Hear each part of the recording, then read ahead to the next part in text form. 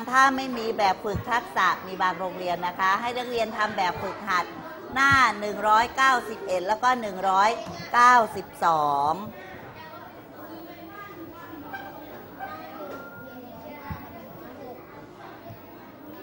เอาละง่ายๆ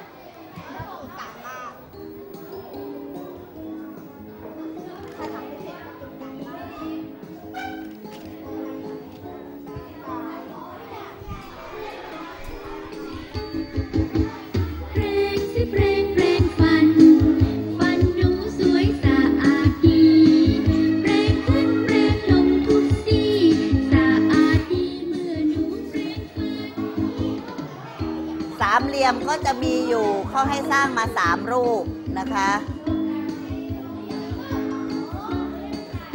ไม่ใช่ค่ะ อันนี้อันนี้สำหรับโรงเรียนปลายทางที่เขาไม่มีหนังสือ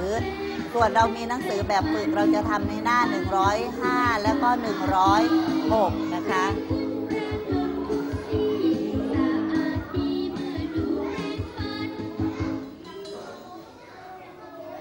ใช้ไม้บรรทัดเท่านั้นพี่นาย ห้ามใช้มือขีดนะคะ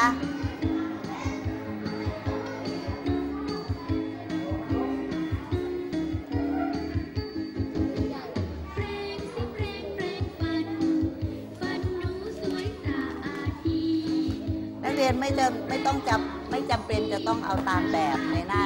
197ก็ได้ ได้ตั้งหลายอย่างนะลูก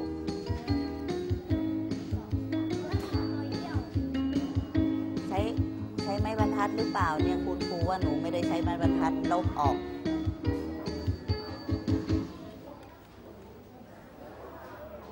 ต้องใช้อะไรขีดเท่านั้น เอ่ยไม้บรรทัดเท่านั้น ใครใช้มือขีดมาคุณครูรู้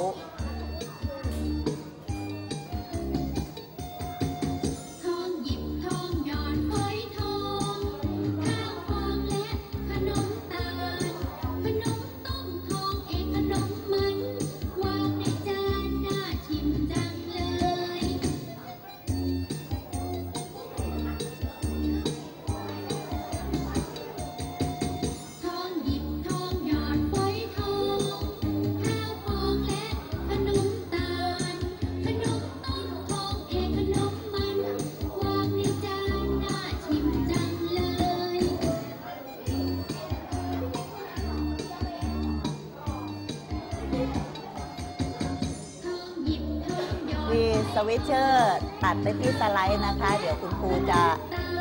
ลากเส้นให้นักเรียนดูอีกครั้งหนึ่ง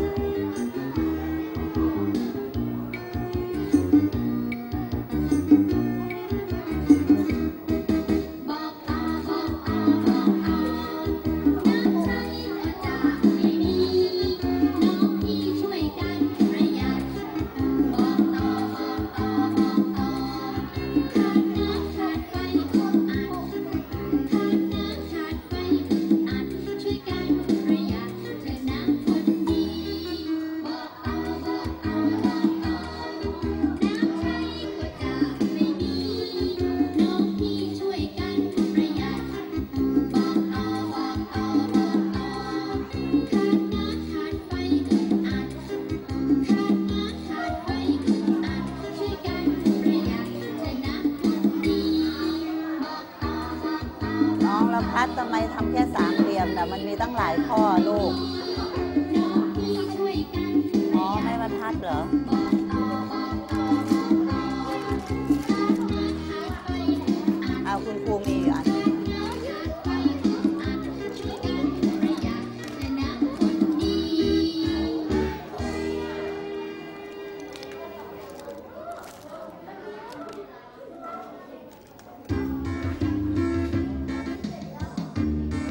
แล้วบรรทัดหนูหายไปไหนอะ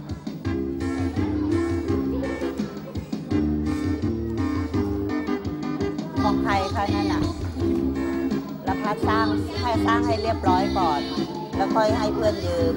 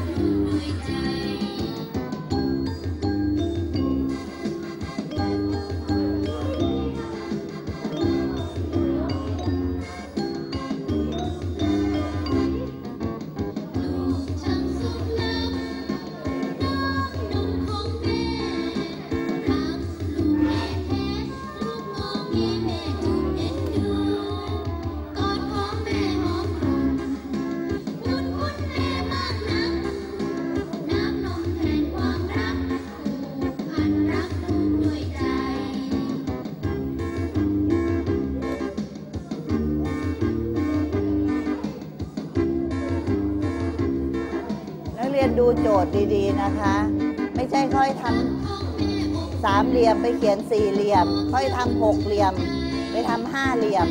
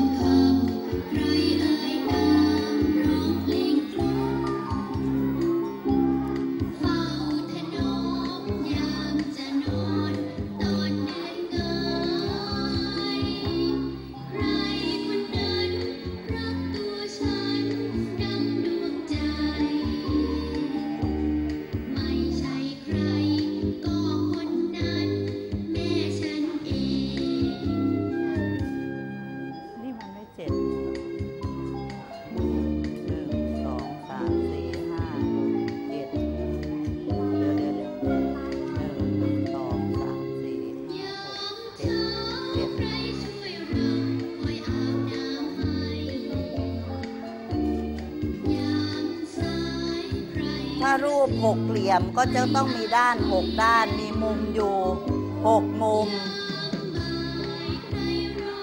ไม่ใช่ว่ารูปหกเหลี่ยมมีด้านเจ็ดด้านมีมุมหกมุมไม่ใช่มีไม่ใช่มีมุมเจ็ดมุมชักสับสนดูดูดิ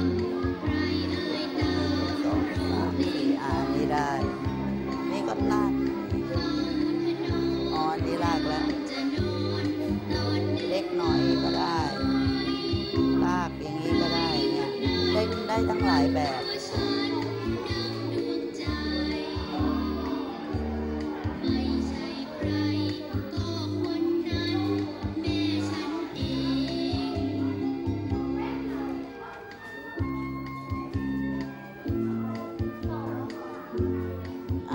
ทำไมด้านนี้มาเฉะต้องตรงจุดลากเส้นต่อต่อจุดนี่มันก็ต้องตรงตรงจุด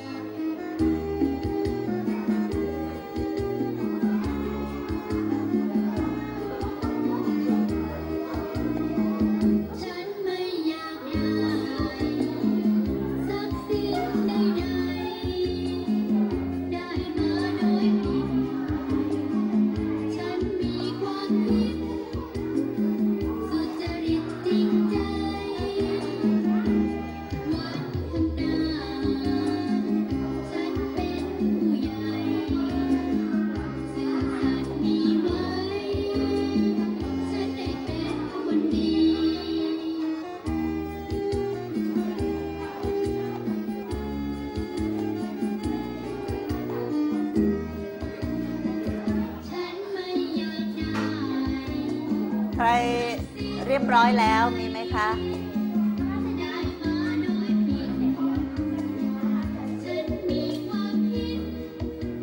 นัทวุฒิอันนั้นน่ะมันมันมันไม่ใช่อะรูปนั้นอะ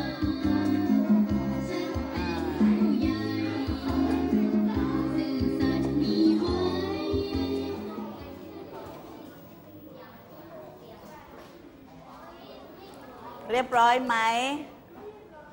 ไม่เรียบร้อย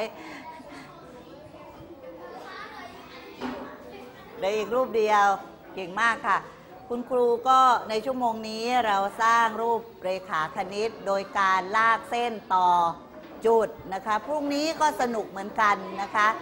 อย่าอย่าขาดเรียนนะคะ พรุ่งนี้สนุกมากสำหรับวันนี้เวลาหมดลงแล้ว คุณครูก็หวังว่านักเรียนคงจะสนุกกับการเรียน พบกันใหม่ในวันพรุ่งนี้ สวัสดีค่ะ